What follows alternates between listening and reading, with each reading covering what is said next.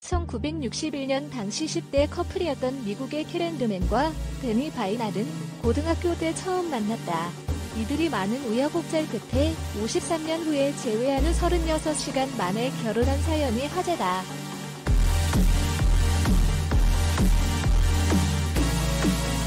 당시 15살이었던 캐렌은 갑작스럽게 임신했다. 캐렌의 부모는 데니를 반대했고 어린 아이의 캐렌이 아이를 키우는 걸 반대했다.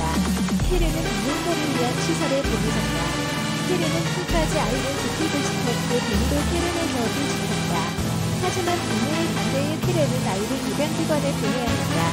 당시 아이의 이름은 데니스라고 지었다.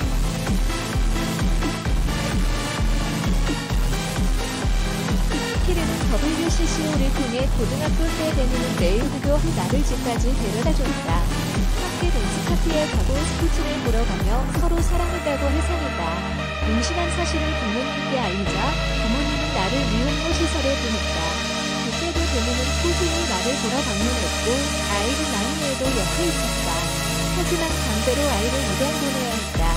혜련과 데니는 마지막으로 아이의 사진을 찍을 수 있었지만 그렇게 아이를 잊어야 했다.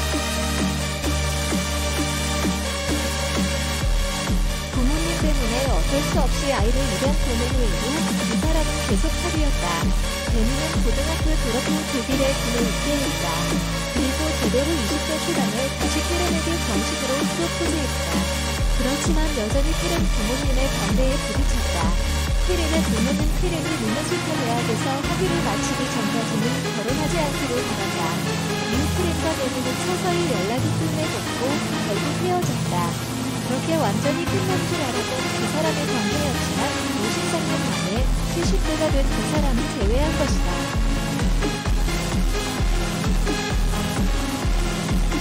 데니는 키렌과 헤어졌지만 잊을 수 없었다. 항상 내 마음속 한 구석에 키렌은 존재했다고 말했다. 데니는 수십 년 후 소셜미디어 플랫폼인 링크드인을 통해 키렌의 이름을 검색하고 찾을 수 있었다. 당시 데니도 파트너도 없었고 키렌은 남편과 사별한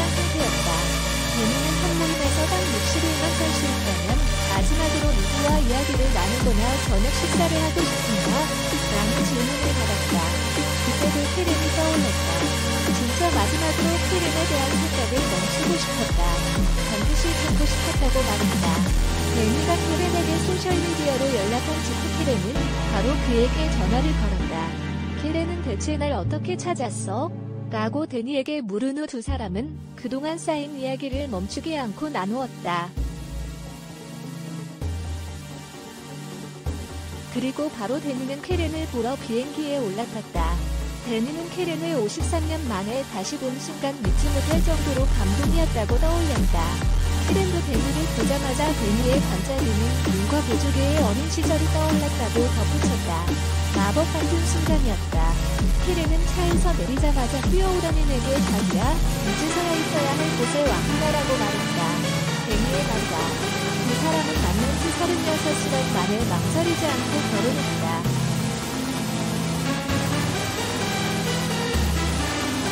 마지막으로 두 사람이 꼭 해야 할 일이 있었다.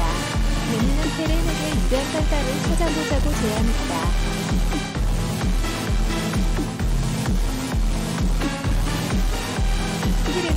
당신을 찾기 위해 너무 많은 시간이 걸렸어.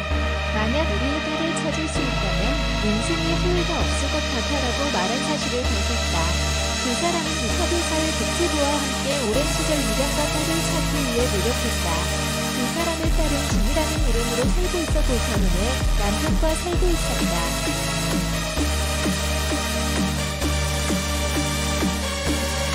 처음에 진은 두 사람의 내일을 무시했다. 하지만 진의 남편은 그를 설득했다. 진은 결혼 30년 만에 남편이 그렇게 진지한 건 처음 같다고 회상했다. 결국 진은 부모님을 만났다. 진은 처음으로 친부모님을 보는데 말로 설명할 수 없는 감정이었다. 아빠의 얼굴을 본 순간 침이 막혔다. 살면서 나와 그렇게 닮은 사람을 본게 처음이었기 때문이다라고 말했다. 현재 데니와 캐렌 부부는 가까운 사이를 유지하고 있다. 데니는 서로를. 여전히 믿기지 않지만 행복하다고 말했다. 안정은 기자, 윤윤 내 터프 포스트, 태양,